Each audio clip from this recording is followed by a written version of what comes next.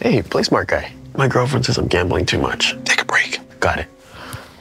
We should see other people. No. Try my PlayBreak at olg.ca.